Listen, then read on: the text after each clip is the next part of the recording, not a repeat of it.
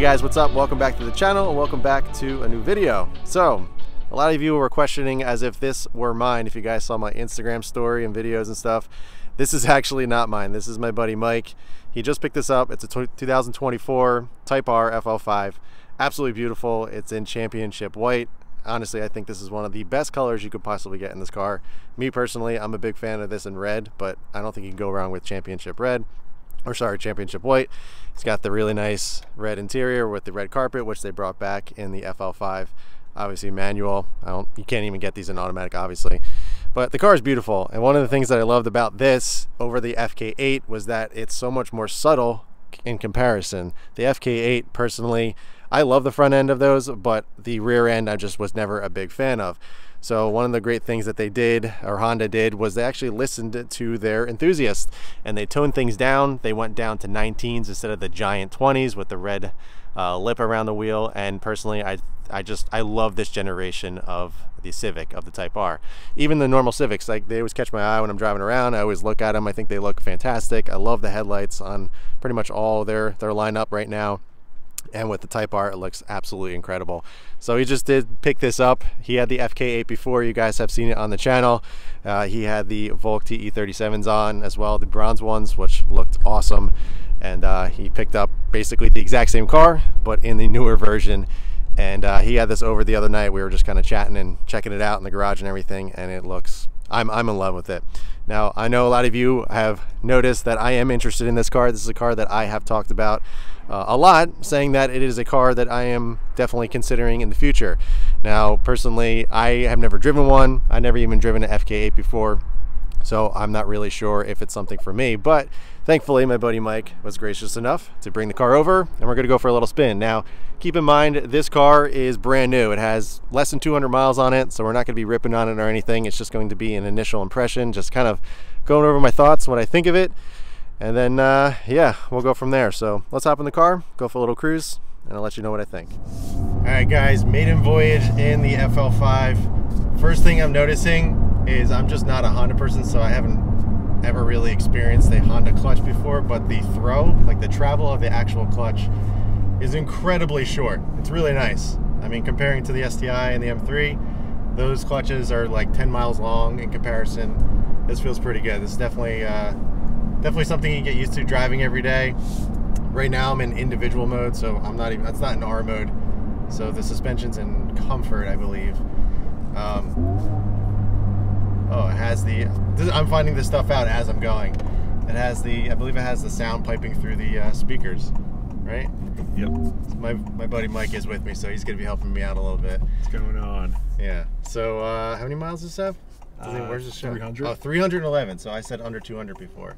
Now keep in mind, as I mentioned, it has 311 miles, so we're not going to be ripping on the car. So my buddy Mike, he really doesn't believe in the whole break-in procedure thing as much as other people do.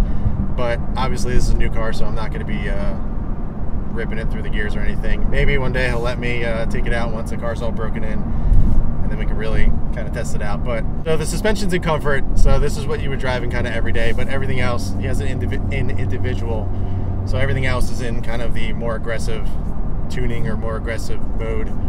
Um, but in a little bit, we'll try R mode, see how tight the suspension is. I heard it's really, really bumpy, um, almost too bumpy, but even now, this is in complete comfort. It's still, it seems a little bouncy, but all right. So our mistake, it was in sport, so it definitely was bumpy. Now it's in comfort, a lot more comfortable. So I can definitely see driving this every single day and not bouncing all over the place. So I'm not sure if you saw me bouncing around on the video, but for sure, this is way more comfortable than the uh, sport mode.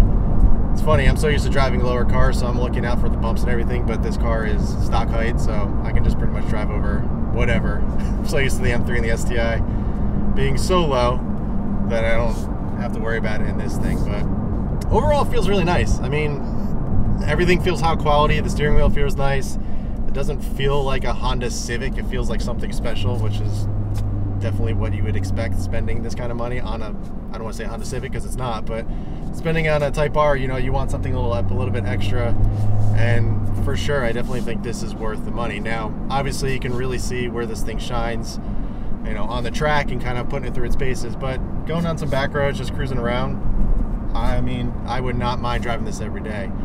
Now, I'm a big all-wheel drive and rear-wheel drive fan. If you guys haven't noticed, so this would nah, this is not my first front-wheel drive car. My first car I've ever owned was actually a uh, Volkswagen Passat 1.8T, and uh, that was front-wheel drive. And I had a lot of fun in that, being 17, 18 years old. But um, I'm sure this is much more different. But I'm curious to see how this feels now after I've gotten a lot more experience with other cars and you know how this feels front-wheel drive like. But taking it on turn, this is in comfort now. It feels good. Now uh, let's see. It? In, oh, you put it in individual. Okay, we'll put it in individual. Train coming. yeah. All right, so now we're back into his individual mode, which is comfort. I don't know. We're not sure. we forget what. Uh, I mean, it's R engine, okay. R sound, uh, sport suspension, and I think that's it. Okay. So it's it's pretty up there in terms of uh, the sensitivity and the aggressiveness of this mode, but for sure you can definitely tell the difference in the suspension mode.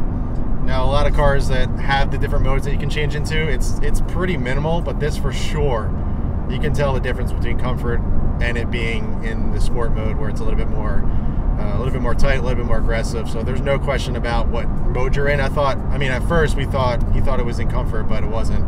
So that was our mistake. But definitely a big change between the the um, suspension changes. I would probably probably driving in comfort for the most part. You know, I'm just cruising around. But if I'm on some back roads and having fun, I definitely put it in R mode or sport mode. So one thing that I really like is the shifter. It's super short.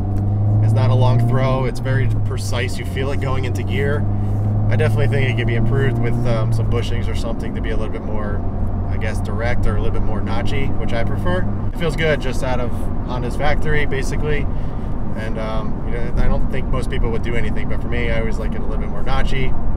Although it's definitely more notchy than uh, some other cars I've driven in the past. So we're still in individual mode, which is all the sport comfort or the uh, sport modes and everything pretty much. And it's honestly a comfortable ride.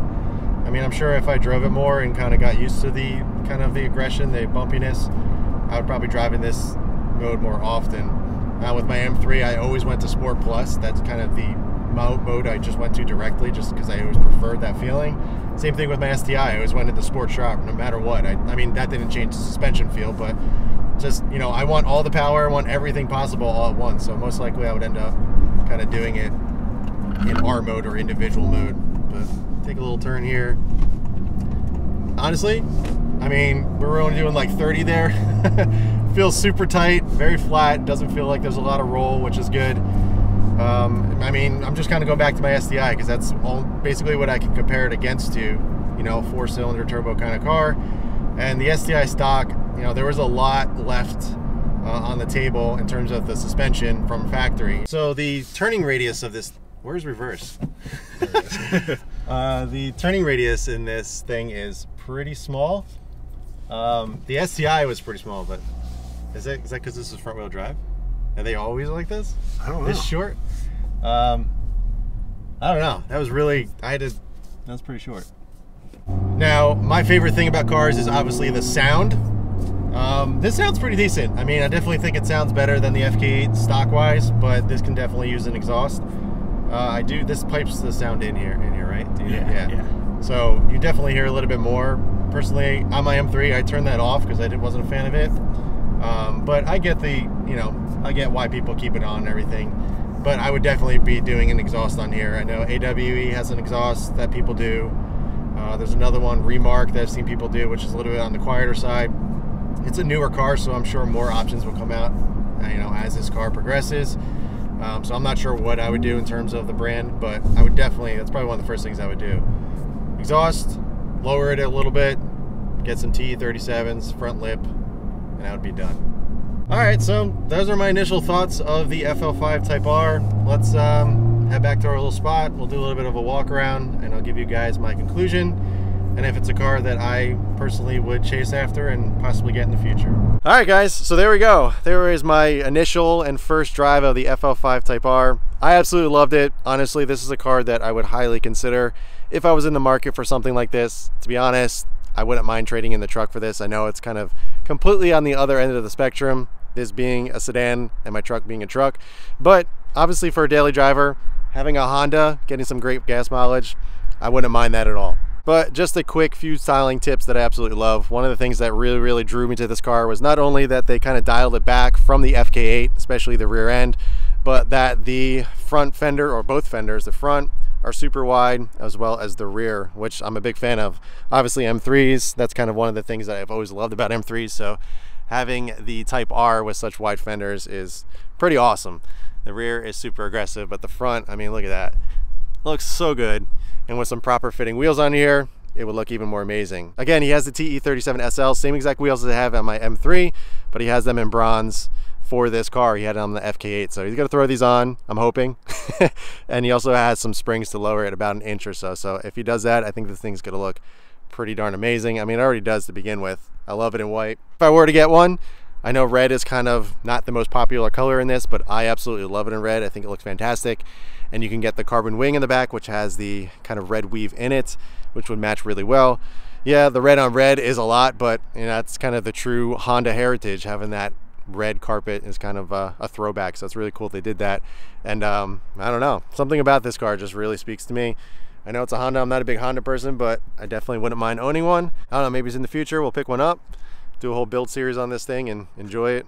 But uh, what do you guys think? Should I get one? All right, guys, so that is going to wrap it up. I hope you guys enjoyed it. If you have any questions at all about the FL5 Type R, or you are interested in me picking one up, let me know in the comments below. In the meantime, keep it clean, keep it simple, and I'll catch you guys in the next one.